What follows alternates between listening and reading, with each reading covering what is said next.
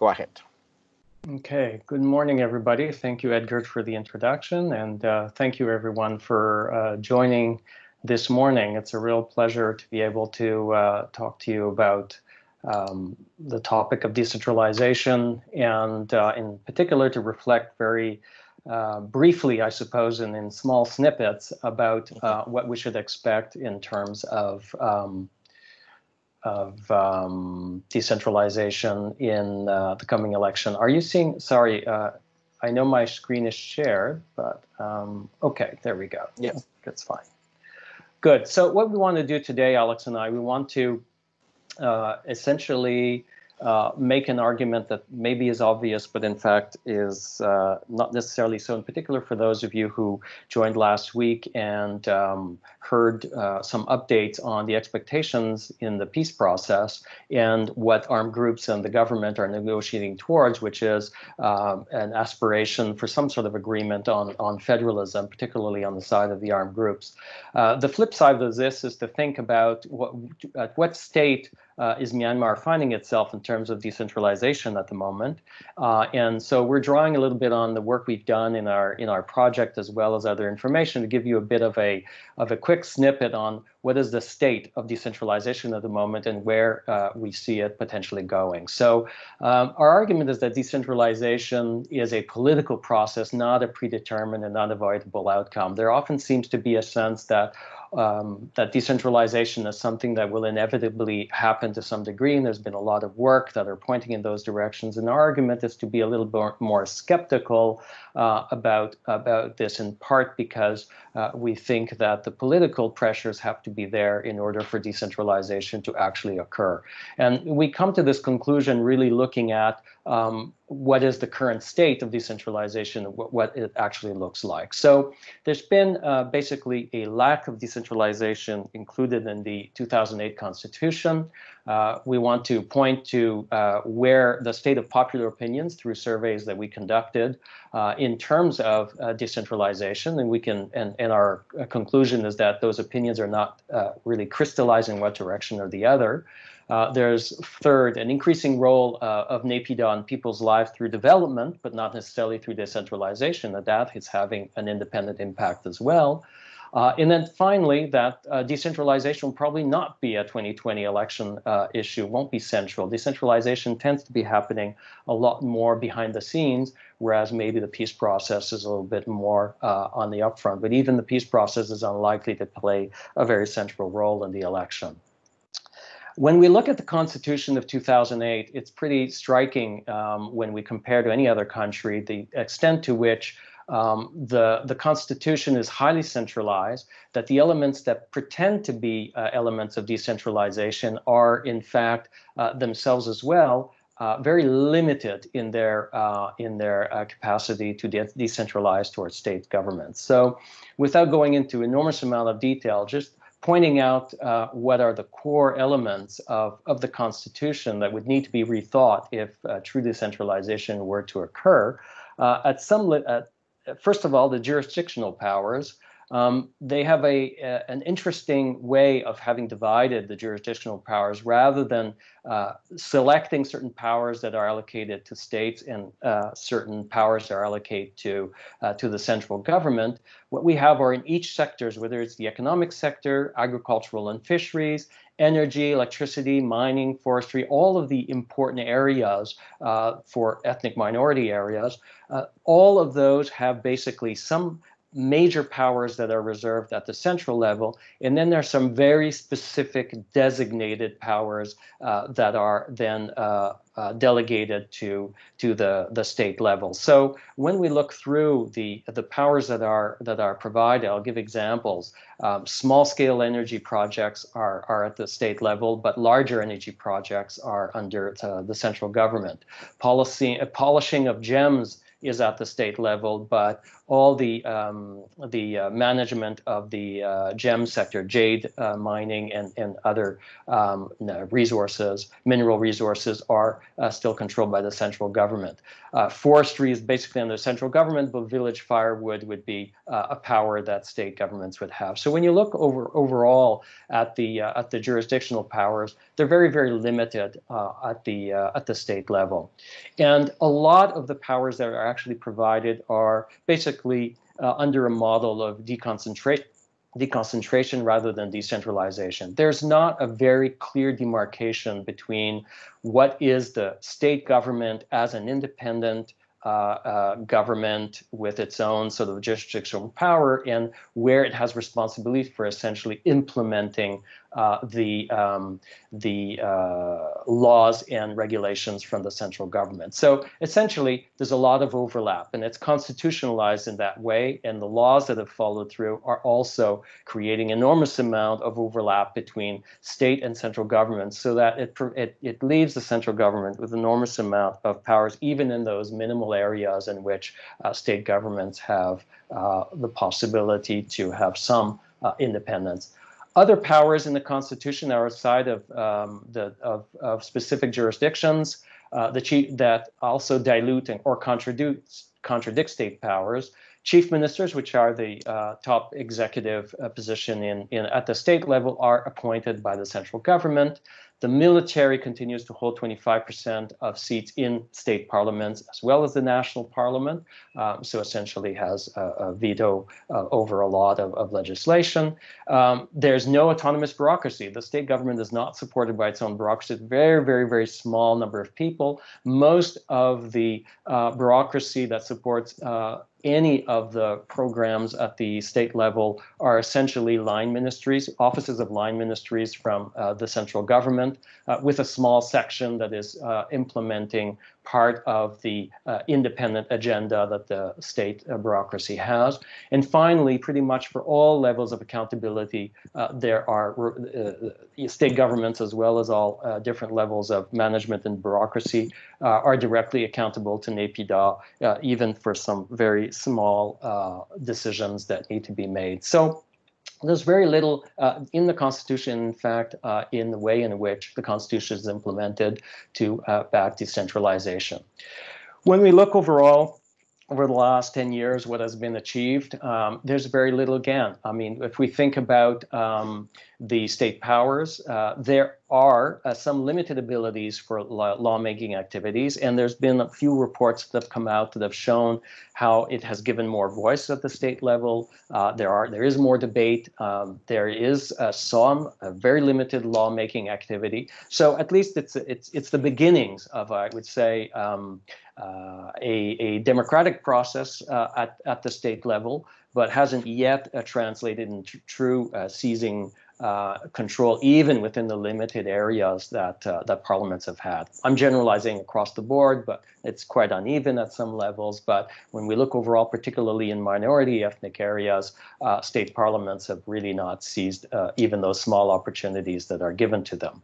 The one big achievement of the NLD was to uh, was to um, take away from the Home Affairs Department, which, under, which is under the control of the military, the General Administration Department, which is uh, a very important section of the Home Affairs Department, which essentially controls a lot of the uh, implementation and uh, and and budget at the state uh, at the state level. So now that it's under civilian control, that has given some hope uh, that there would be a little bit uh, less um, interference from the military and might be uh, leading towards decentralization, but uh, it's, simply uh, a, uh, the civilian government that has taken control, and we've not yet seen uh, uh, a trickle down to more control at the state level coming from this GAD um, transfer to civilian authority.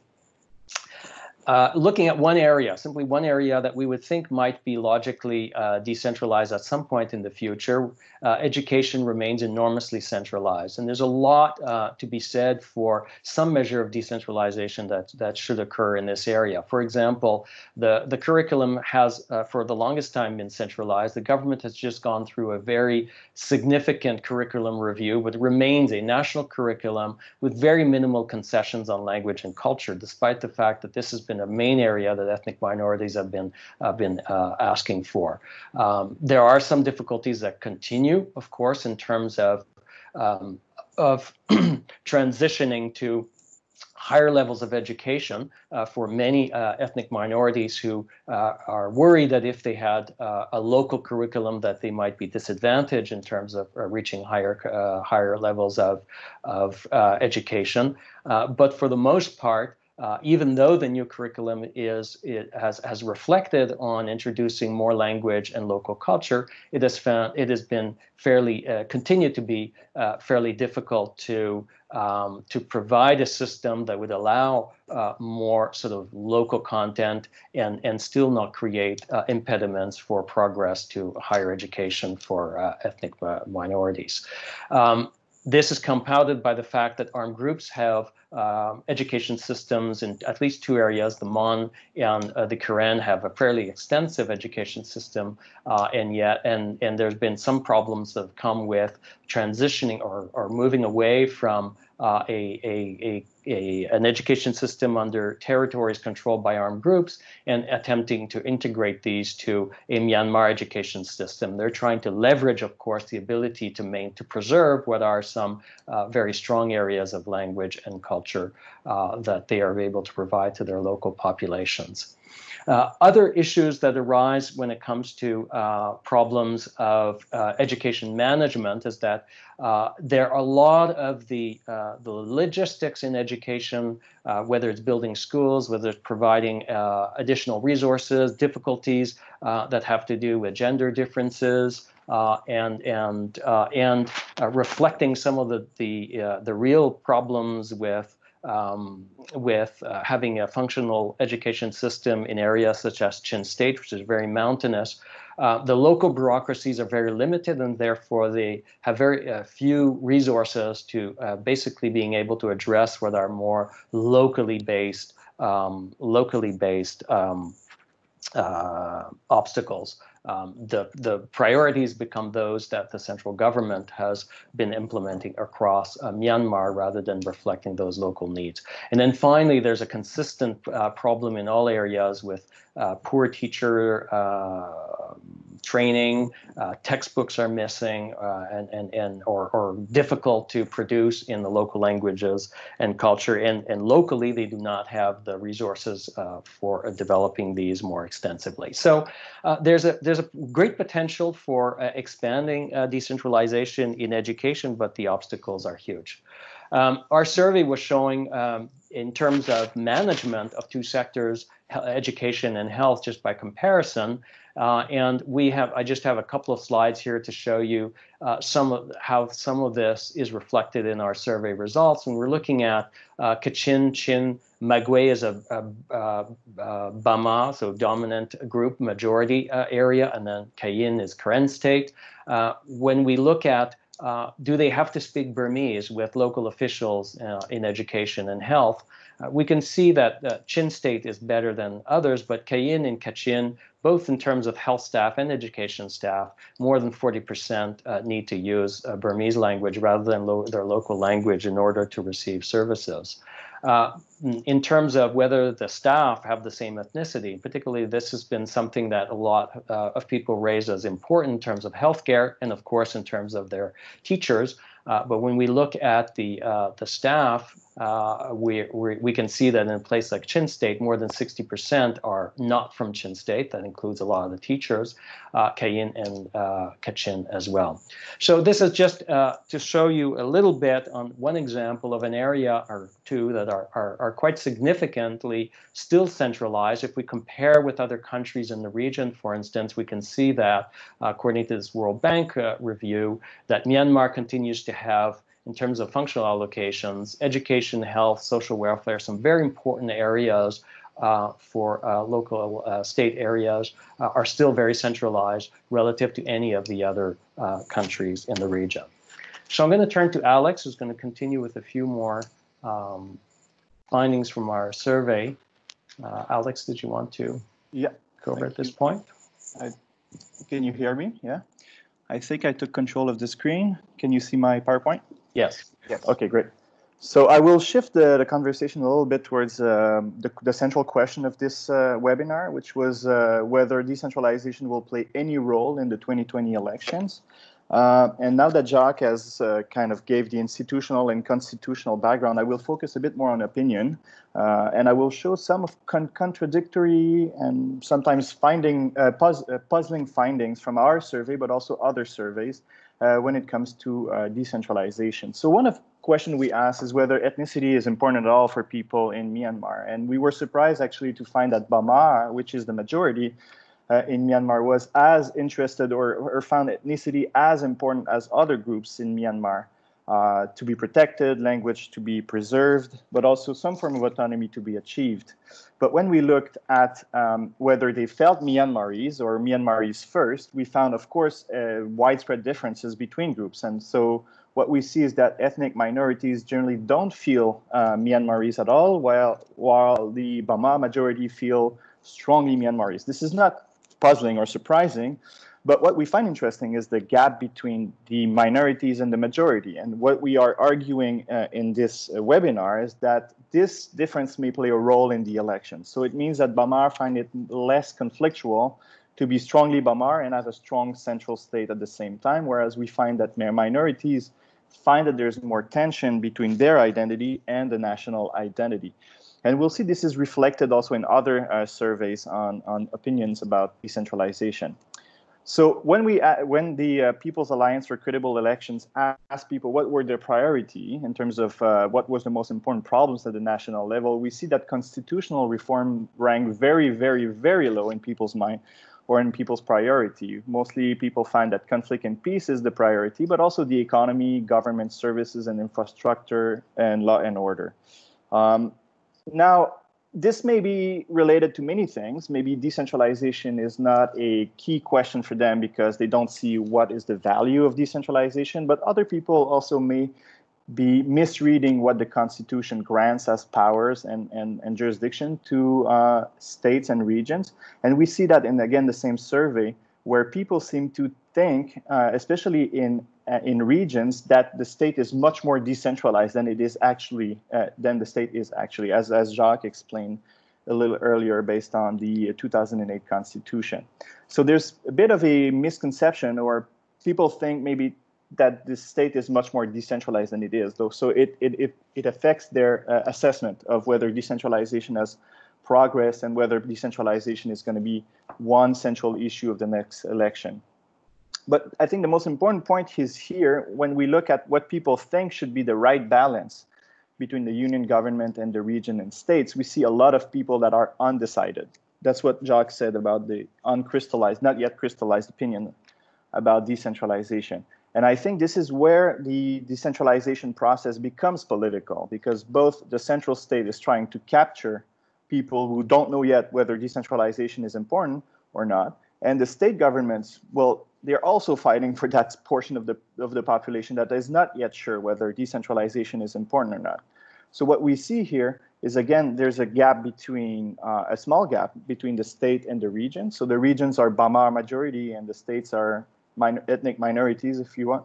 So as you can see here, um, a bit more of the state believe that the state should be uh, more powerful, but there's no huge consensus about whether decentralization is a priority. I was looking at data from Indonesia, for example, and about 65% of the population think that this, the, the, local level should have more power. So there's a much broad, broader based uh, consensus on whether decentralization should happen. So maybe it's because we're early in the process of decentralization, but I believe that this what we argue in the in, in this webinar is that we believe that this portion of of uh, we don't know yet are an important uh, are important as a uh, uh, so the central government is trying to target them, convince them that decentralization is not necessarily important, and we see that between political parties, it's it's only ethnic parties that really believe that decentralization should be greater, but also below 50%. So again, in major parties, supporters of major parties, um, um, the desire for greater decentralization is relatively low compared to other cases. As I said, Indonesia is a, is a good example. Again, when people were asked which government should be responsible for key uh, jurisdiction, most people seem to be saying that both governments should be responsible. So again, this is a space where political forces can uh, try to convince people that the best government is central or state or region government. So again, a lot of space, a lot of uh, territory where people can, uh, where government can actually um, try uh, to get more power. So what I'm arguing is that because the opinions are not yet crystallized, there's a lot of room for the central government to increase its presence in, in, in uh, people's life. And that's what we've seen in the last in the last 10 years. As you can see, Myanmar is still one of the state when we compare states, comparable states, one of the states that spends the most in defense. So defense is, the, is by far the first and most important expenditure point in Myanmar's budget. But uh, as we will see, it's spending increasingly more in healthcare and education, two of the of the policy sectors that we were covering with our survey and research. And as we can see uh, in healthcare, I think I think it's nine times more than it used to spend, and education four times more. And they were able to achieve quite impressive results in a few years only. So they were able in the uh, health sector to expand human resources, to build skills and primary health care, invested in new primary health uh, infrastructure, especially in rural areas, and that's extremely important. And we we can we uh, we were able to actually measure that very well in our survey. People feel the presence of those clinics in rural area more and more. Um, and they were also able to establish resources for midwives and networks of midwives. Uh, and, and people uh, saw that very well. And they also increased the operation and maintenance of existing hospital in every region. For education, uh, the uh, expense of expenditures have increased five times.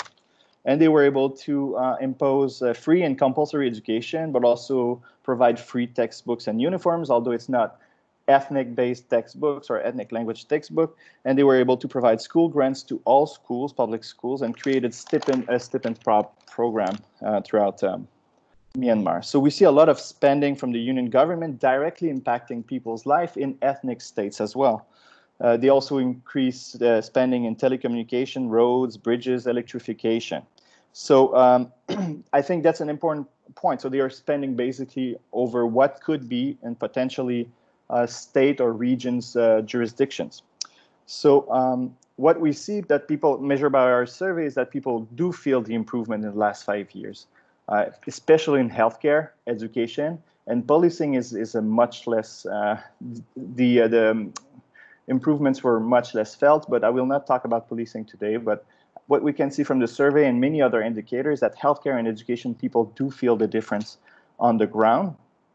Uh, and women felt uh, it was about similar with the with the general population. So there were no huge gap between women's uh, perception of, of, of improvement of public services and men improvement of public services. But what we see is a clear imbalance between local level expenditures and central level uh, expenditures. Uh, the states and regions in Myanmar only have a small portion of the total budget to spend. Um, and what we, when we compare with comparable states in Southeast Asia, we see that Myanmar is among the, uh, the local governments are among the weakest throughout Southeast Asia. And what we see also is that most of the local budget rely on uh, transfers from the central government, not autonomous sources of revenue such as taxes. I think Jacques explained why, but we see that in recent years there's been an increase of uh, central level transfers to state governments. But those transfers are a bit more systematic than they used to be five years ago, where they were mo mostly discretionary by central government. Now there's a formula for uh, transfers, uh, but those transfers are still uh, highly conditional on the size of the budget of the central government's budget for transfers. Uh, and as you can see, there's a clear dis distinction between uh, state and regions percentage of total revenue that is linked with transfers. So what we see is that the regions, especially Yangon and Mandalay, are becoming more and more autonomous because they have their own sources of revenue based on taxation but the states, ethnic states, are more and more rely, uh, uh, relying on central level transfers. So they're more dependent on central level transfers than uh, regions, which are uh, located mostly in central Myanmar. So this imbalance is extremely important to understand um, um, the current situation. So to make uh, to conclude my presentation, as Jacques explained, uh, the 2008 constitution is centralized, but there's some space for decentralization. What I try to argue is that opinions about decentralization are not yet uh, crystallized. There's no consensus about decentralization. So that was a that constitute an opportunity for central government to step in what could be otherwise uh, state or region level uh, jurisdiction. So that's what exactly what they did is that they spent a lot in states and regions and what we're arguing is that this form of development is undermining, at on some point, calls for decentralization. Because if people are happy with the with development, there's less of a constituency in favor of decentralization potentially.